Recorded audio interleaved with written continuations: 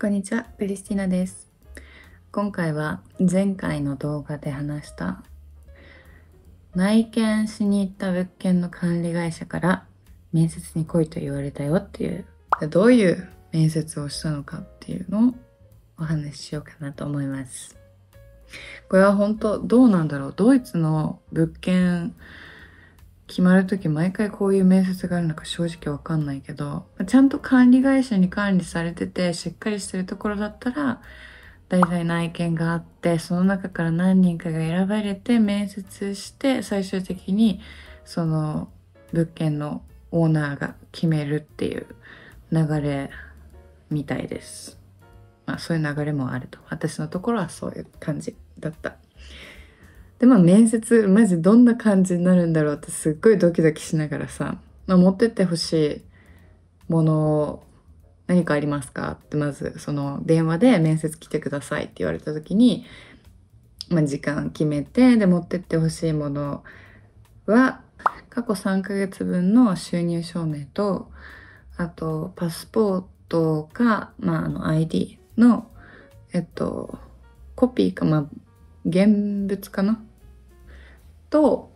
そう、そんぐらいかな。他になんかあったかな。あ、あと、あれだ。あの、家賃、今まで、今住んでるところの家賃、ちゃんと振り込んでますよっていう証明も、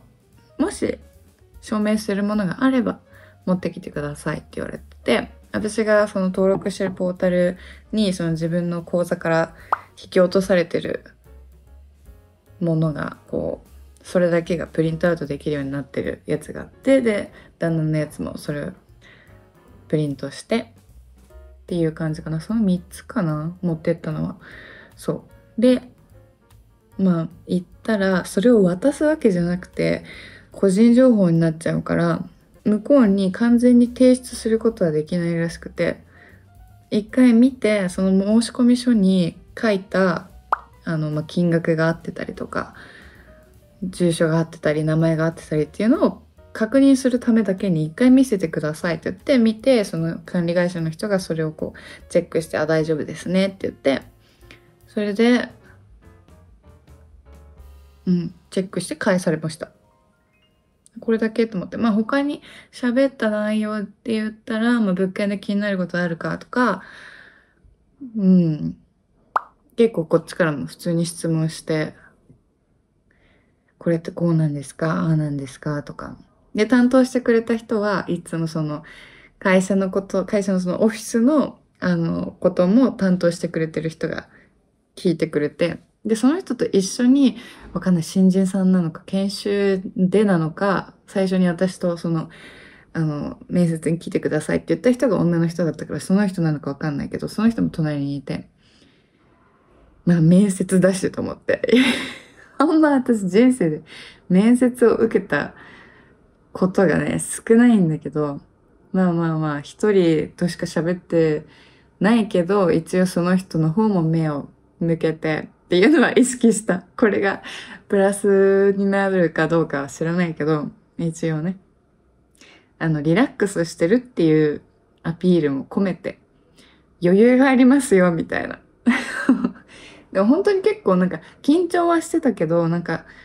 選ばれる選ばれないに関しては結構まあ相性とかもあるだろうし、運もあるし、タイミングもあるし、結構なるようになるっていう感じのマインドをまあ持って、ちょっとはワクワクしつつね、そういう感ちょっと楽しみもありつつね、もしかしたら選ばれるかもしれないって思いながらも、まあ結構なんていうのかな、冷静に、しかもこう、ちゃんと、あの、こっちが不利になるような条件とかないよなっていうのも結構こう、なんていうのかな、冷静に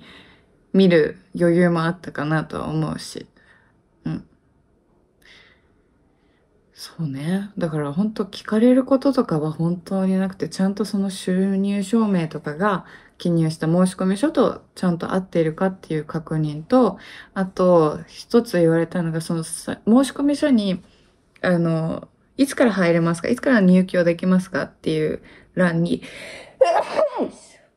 失礼 えっと、そう、7月1日って記入したんだけど、まあ、綺麗にね、こう、1日。で、まあ、月始めだし。っていうので記入してたんだけど、6月の中途半端な日程を書くのはなんかこう、なんていうの？考えてなくて。で、まあ7月1日が一番早いタイミングだろうって思ったのもう6月始まってたからね。で、まあそれが、その、大、大家さん、家主さん 大家さんでいいんだよね。大家さんが希望として、6月の半ばからもう入入居っていうかその契約書をスタートさせたいっていうことみたいなんですけど、それも大丈夫ですか？みたいな感じで聞かれて、あ、もうわかりました。はい、大丈夫ですって言って。で、その、もちろん管理会社とこうやってやり取りするし、面接もしてくれるし、あの、ね、その物件に関することとかは、その管理会社として、あの、コミュニケーションを取るんだけど、やっぱり最終的にそこに住む人を選ぶっていうのはオーナーになるから、まあ、ここから、あの、オーナーに、私たち以外にもう2ペアなのか家族なのかわかんない。他の人は見てないから知らないけど、他の人たちも、あの、面接をして、その3ペア、4ペア、うちら以外に3だったかな。ちょっとわかんない。3か4ペアから、あの、大家さんが最終的に決めるっていう話だったんだけど、やっぱりこう、私たちが、あの、住みたいっていう気持ちがちゃんと伝わったみたいで、あ、じゃあすごくあの、住みたいっていう気持ちが ちゃんと強いっていうことを、ポジティブなマインドっていうことも伝えときますねっていうふうに言ってくれて、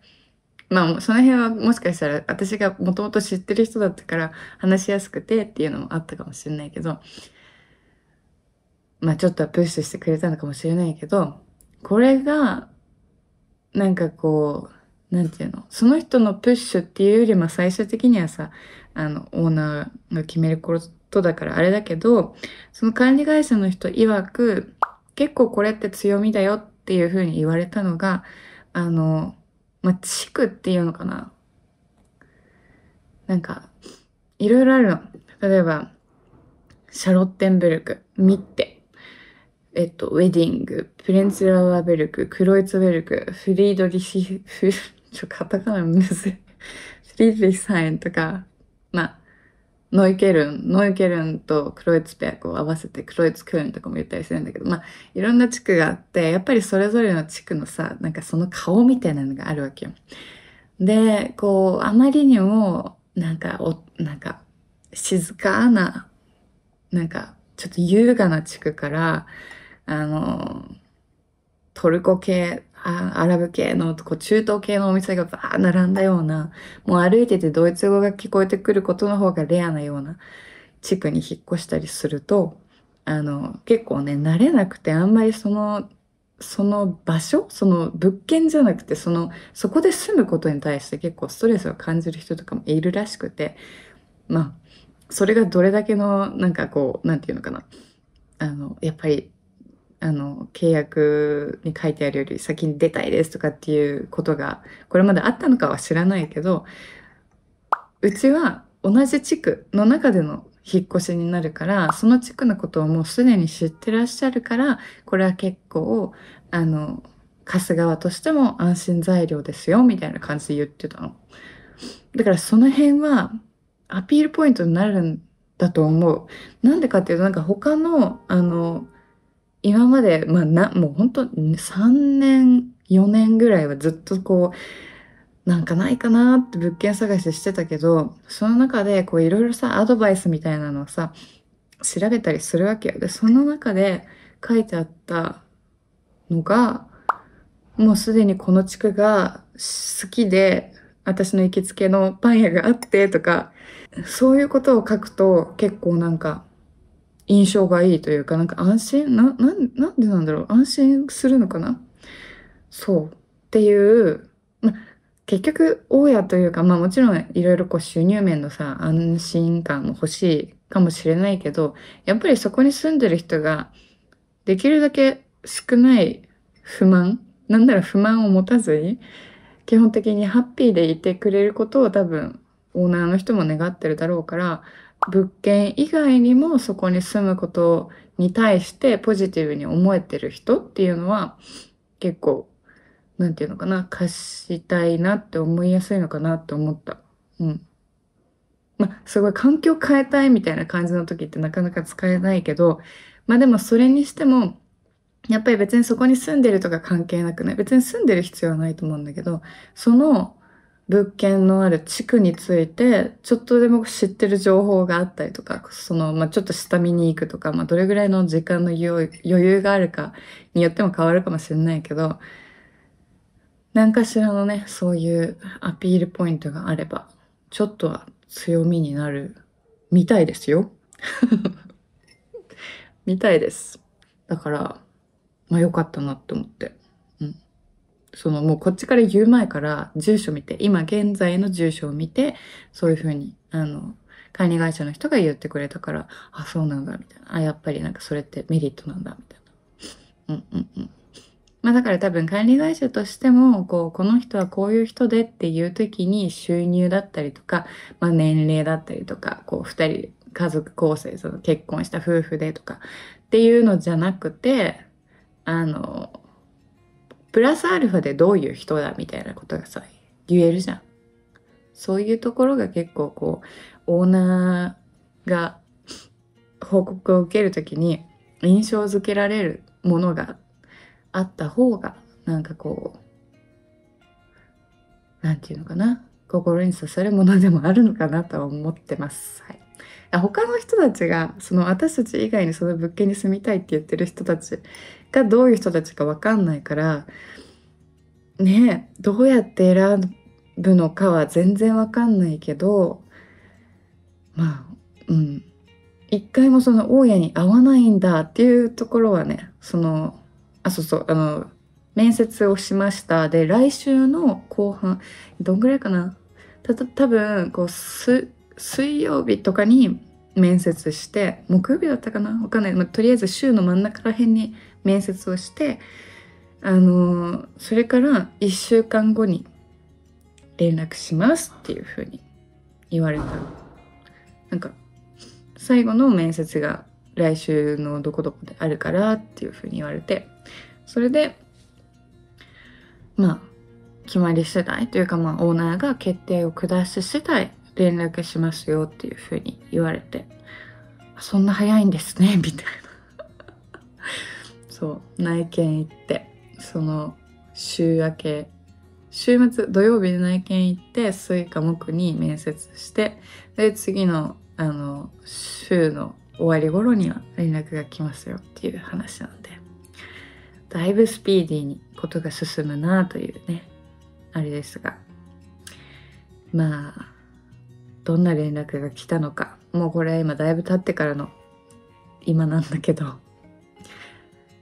管理会社から連絡がもうすでに来ました。ただそれはまたね次の動画でどうやって連絡が来たのか。何という連絡の内容だったのか。お伝えしようと思います。とりあえずこういう感じの面接をするしたんだよっていうことを伝えるだけの動画でした。はい。まあベルリンに住んでる人とか参考になるか分かんないけどなればいいなと思うけど。でも結構8割以上9割ぐらいが日本から見てるからまあベルリンに住んでる人がねどれぐらい見てるか知りませんが、まあ、もし誰かの役に立てばなと思います、うん、なんか言い忘れたことないかな。そんな感じかな。うん。はい。ということでした。じゃあまた次の動画でお会いしましょう。